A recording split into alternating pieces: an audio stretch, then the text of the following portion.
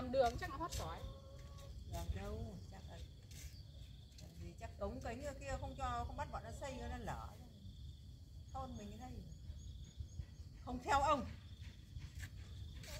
Hư cái gì? Nước ở đây nó có thoát ở đâu. Đâu là cái chỗ cống ở nước chảy từ ao ra đường ấy sang rồi xuống ruộng ấy. Vâng nhưng ý con đang nói là nước ở bên này nó cũng không thoát được.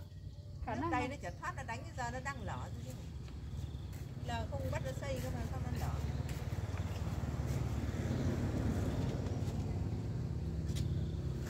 miệng cống bên kia là ô rác vào hồ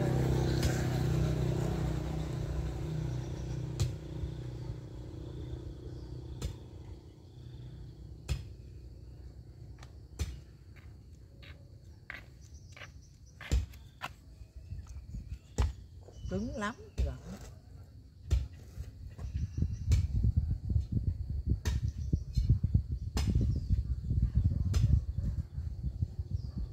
nọ thì vướng không mấy múc nó cao cho tí.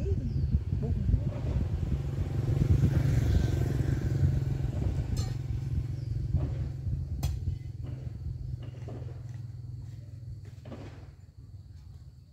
Ngày xưa đổ thế mà hóa ra dày.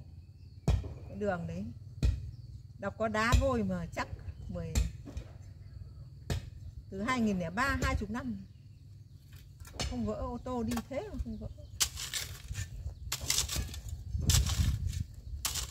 Đất này nó ướt thì phải tơi là nó nó khô rồi nó nó ướt nó nặng nếu mà ấy thì, ống nước là không có đưa lên nổi trên nước